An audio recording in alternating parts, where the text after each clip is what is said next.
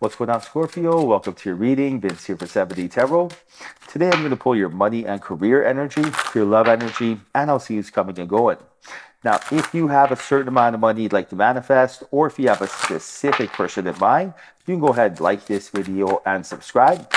And if you are interested in scheduling your own personal reading with me, all the info you need is in the description box below. Now, for a totally fresh perspective, you can check out my wife's channel over at Empath Tarot. You will love her.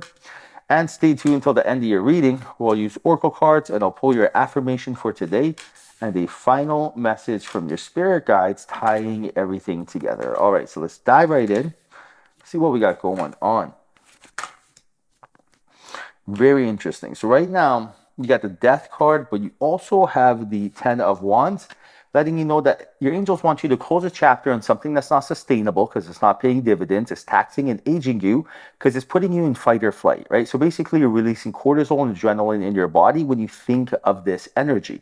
Now, this could be a person, this could be like something about to happen. Like, for example, imagine your taxes are coming up, you've put it aside, and right now you're telling yourself, oh, every time you think of it, you get stressed and worried, right? You're in fight or flight this chemical cocktail, this is, you know, something that pushes the genetic buttons of disease because it's a very potent cocktail that, you know, usually we feel if we, this was back in the day, in the caveman days, like when we saw a saber-tooth tiger, oh my goodness, you know, your, your, your senses get aroused, you get focused. The last thing you think you're thinking of is love and, and the creation and, and life's purpose. You're thinking of survival. This energy right here, this is not something that's sustainable, right? So it, this could also be like something like asking your boss for promotion, but you're too anxious to do it, even though being anxious is excited, right? So source is telling you right now, this energy has to get cleared. When this energy is cleared, a brand new, fresh opportunity is going to be presented to you. And this is nothing more than a lesson, a test to see, you know, where are you at? Are you able to handle this? Because being in alignment first, action second, which is the formula for success, is the recipe to pass this test, right? So when you're in alignment first, everything is effortless. Like asking your boss for promotion is easy, asking someone on a date, making the right choices. But it all comes down to being in alignment first. I cannot stress this enough, right? So for example, if I have any major decision to make in my life, I'm making sure I am in alignment first. I'm not going to make any decisions based out of fear any decisions that are undecisive or wobbly. Because why? You are a magnet attracting what you emit. I'll just go attract more undecisiveness. That's not what I'm looking for. I'm looking for, you know, very pre- uh, precise, calculated decisions that are, are the correct ones with zero mistakes. I don't have time to clean up messes for making the wrong mistake, right? So, for example, like when you drive, you listen, you look at your GPS or map. You're not just driving around and being like, oh, if I'll make up the difference, you know, if I take a lot wrong turn, who cares? No, you're like, I got to make sure I get to my destination, you know, point A to point B, you know, the best way possible, right? The most productive way. I don't want to waste time, energy, or gas, right? Same thing here. You don't want to waste your, your time, time and space. So source is telling you that energy does have to get cleared. Now, I see here with the Eight of Swords and the Knight of Swords, what's happening is your angels are telling you that there's a lot of overrushing going on in your life. You're focusing too much on trying to get things done, either multitasking. And right now, you got to remember, like your reality is a reflection of your dominant vibration. So if your dominant vibration is overrushing, if your dominant vibration is, you know, making hasty decisions, snap judgment, not putting things, impressions to the test, you're going to get more of that back law of attraction exists whether you participate in it and consciously or unconsciously. Like whether you're aware of it or not, you are a magnet attracting what you emit. So you want to know what's going on, basically, right? So source is telling you right now, take your time. Do not rush. Rushing is one of the lowest frequencies you could possibly have, right? You are going to make the wrong decision. If you're rushing to make a decision for work, if you're rushing to make a decision, even when it comes to eat, right? You're like, what should I eat? And you immediately just pick something without listening to your instincts. It's not going to go so well. So your instincts are telling you to take some time for yourself. Now you got the lover's card and you also have the strength card. So right now, source is telling you that to find the strength, that inner lion within you, to love yourself because loving yourself is the first step before others will love you as well. And love means happiness, peace, and joy. And this is so important. Why is it, you know, so important to love yourself? Because, for example, when you meet someone, you're basically saying, hello, stranger, I am Scorpio. We don't know each other. It's in your interest to mingle with me. Your life is going to get better if I'm a part of it. That's really what you're saying. So if you don't know what you bring to the table, you're not like, hey, it's your life's better if I come in there because I am someone who is positive, confident, charming. I'm positive. Someone who is kind, gentle, empathic. If you don't know these things, right? If you don't love yourself, then you don't know what you're bringing to the table. And this is very, very important because I used to go through this all the time. Like I, you know, before I knew what the law of attraction was, I didn't love myself. You know, I was very hard on myself, you know, and at the end of the day, it didn't do nothing for me. You know, I was very self-conscious. Um, and as I grew, you know, as I matured and, and got more educated on how life really works, then I started loving myself all the time. I'm like, Vince, you are the best. You're the ish, you know, positive affirmations. You're smart, wise, patient, powerful, sexy, charming, whatever, right? And right now, Source is telling you the same thing because I do see here that there is a very powerful energy waiting for you.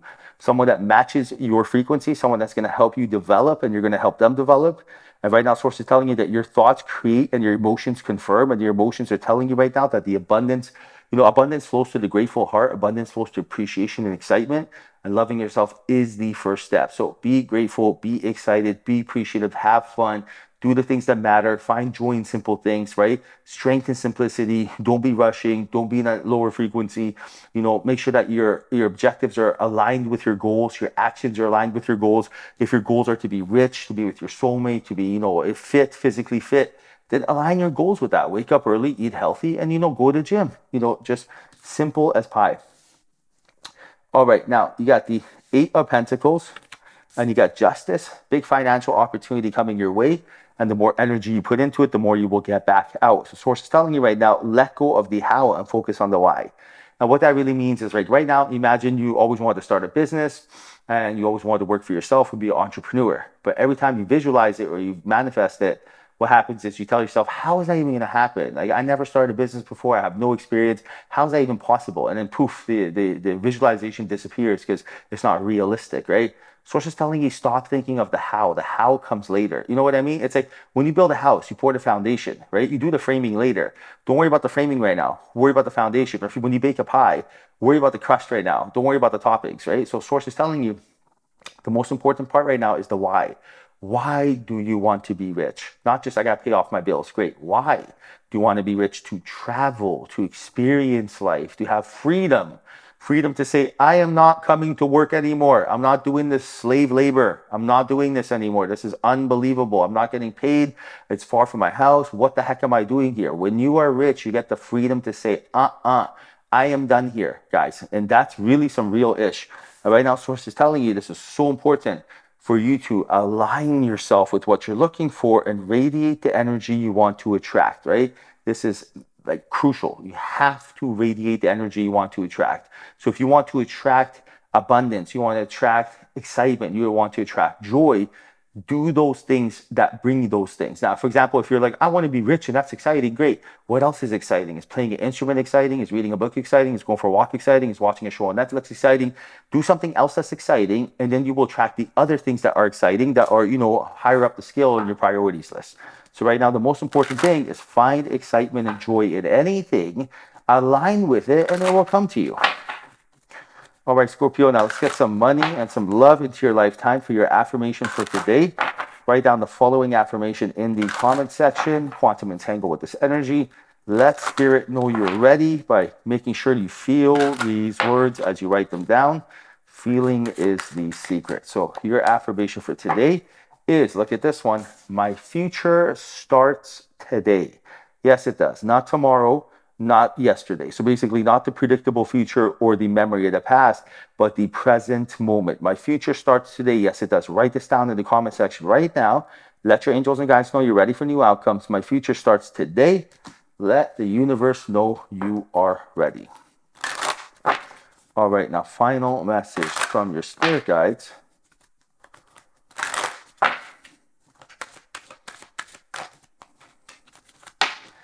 See me in their eyes, is the message.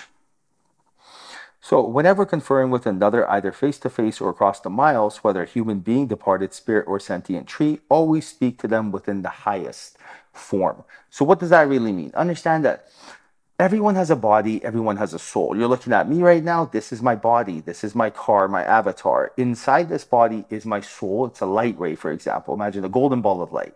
So everyone, everyone you speak to, when you look at them, that's their body filled with human emotion and limiting beliefs and shadows and filters and childhood traumas. Don't worry about all that. Deep down within them is a soul that does not have an ego. They're from the fifth dimension, the same as yourself. Speak to them right? So when they say some stuff to you that doesn't even make sense and you're like, wow, what's wrong with this person? it's not them. It's this, this poor soul that's trapped within a body, right? Speak to their soul. That means be kind and gentle, and you will be handsomely rewarded for it. All right, Scorpio, hope you enjoyed your reading. Hope there was a message in here for you. If there was, like this video and subscribe. I truly appreciate you. Till next time, chat soon.